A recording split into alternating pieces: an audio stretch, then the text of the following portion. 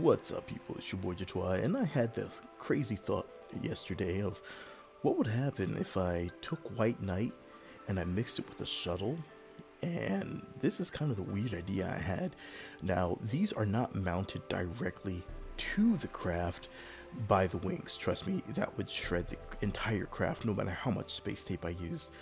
Instead, there is actually a fuel tank that goes between the two and the shuttle sits on top of that fuel tank and everything else is then in line with the shuttle. So you have a linear shuttle.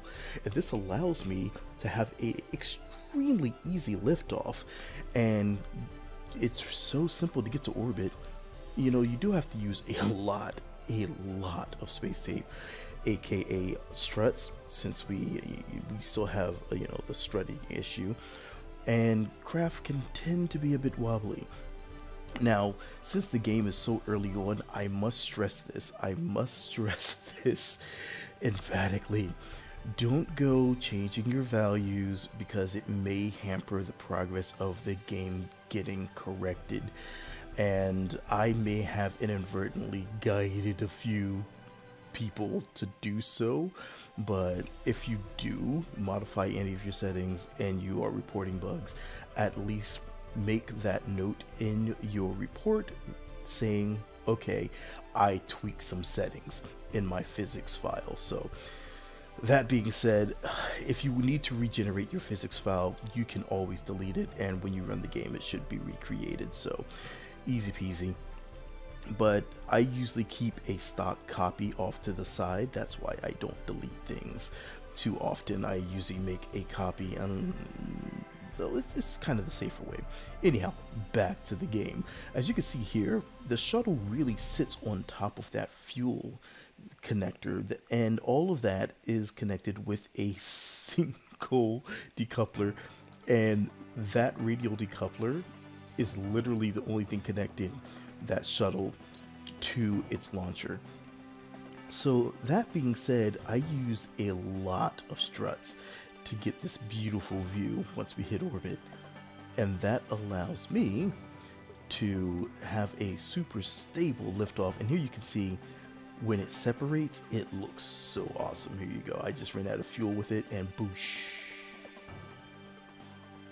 Oh yeah, there you can see a good visual of how the connectors work and all of those struts that I used. So that brought us over to the moon. And this is where the fun begins because when you're coming in, super pause, super unpause. I am still going to say that every time. When you're coming in the moon this way, uh, you have two options. You can come in like I did hot, and you can land on your tail. Just make sure you're not going too fast when you land on your tail or you're going to smash things and you're going to have a hard time on re-entry going back to Kerbin. So this method here that I use is a bit more chaotic. Other people tend to go retro burn and then they'll flip over at the last second onto their wheels. So as we come down for a gentle, gentle touchdown and a little boop to the tail and then a little fall over to the wheels. I had a bit of a scare here as the craft seemed to want to bob side to side, and I was really, really hoping it did not destroy any of the wings on there. But the wings appeared to hold up quite nicely. So I went ahead and just kept going. Now, I found something quite disappointing is that the hatches are done, it seems similarly to KSP1, where it is on the side, but if you have front canards like I do here, well, you can't get your Kerbal out. so I, I did put in a bit of a suggestion to add in a front exit or a top exit hatch so that way even if we use canards we can get our kerbal out no matter what. So can't can't plant the flag. Decided i guess it's time to explore a little bit and then realize i don't really have the fuel for this. So i decided to go on back home to kerbin. This is where i ran into actually the first bug in this entire playthrough And this was probably about an hour of playtime, including the build and the launch and orbits and all. And I only ran into one single issue. That one single issue actually was the maneuver planner. And coming up, you'll see I had quite a bit of trouble with it. And it, it kind of, you know, brings me to the point yes, KSP is having some trouble with a lot of things at the moment, but the game itself is still fun. Why do I keep playing it? Because it's fun. Is it kind of frustrating at times? Yes, yes, it is. It is quite frustrating at times, but it is fun. So you'll see here what was happening, and this is actually the third take. What was happening is it was saying that on my maneuver, I would burn off about 900 delta V, and I had about a thousand or so. That's going to bring things really, really close, and that is not exactly the margin of error I would like. so I decided, okay, um, I'll just do it by by eye. And secondly, whenever I pointed myself towards the maneuver and would do my burn, it kept pushing me retrograde. Retrograde is definitely not the direction I want to be because that takes me back to the moon. So I decided, once again, I'll just do it by eye, set myself prograde, get to maneuver, and then punch it, and then just eyeball it until I got close enough to the planet uh, to get an actual orbit and escape the area of influence of the moon, and then go and do my capture with Kerbin. Could I have done it all in one shot? Probably, but I couldn't find a fuel efficient way of doing it. So this was the best bet that I had, and it played out really well because I only ended up burning about 500 Delta V and ended up with about 400 left to spare. So this gave me a really fantastic shot at landing this craft since there's only one place you can land right now. Uh, I've been scouting around trying to find other bases on Kerbin, and there's just that one. So I went ahead and took it, and that's when I found something absolutely glorious. You know, besides the fact that you know the the heating effects are not in the game yet, so I can do some really funky insertion maneuvers. Um, I did the reverse pancake, which every time I say that it sounds really bad, but I swear to you, uh, it's just when you nose down and flatten out things, so you can kind of bring your uh, your targeted landing area kind of better where you want it to be. And I was actually able to get a target very close to the Kerbal Space Center. So that being said, I was like, hey, maybe I can nail this landing back at the base.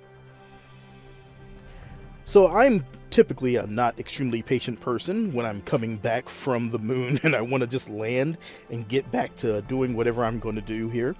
So I kept using, you know, the, the physics warp to get me to where I'm going to go a lot faster. That's when I found that if I physics warped while I was gliding in, it seemed to extend my glide quite a bit. Um, sure, this is probably an aerodynamics physics warp issue, but it worked in my favor, so I refuse to call it a bug.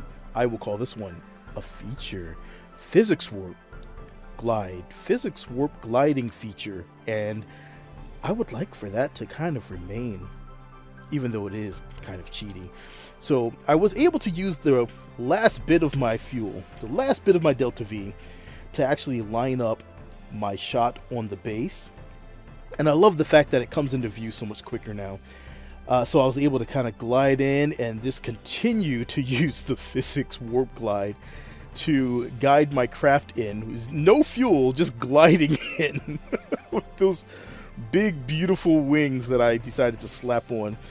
And it worked remarkably well. I was able to actually pull it off and uh, swing back over and come right down on the base. And this was where everything was on the line. You know, was I going to go all the way to the moon, park, and not be able to get my flag to all, come all the way back and crash?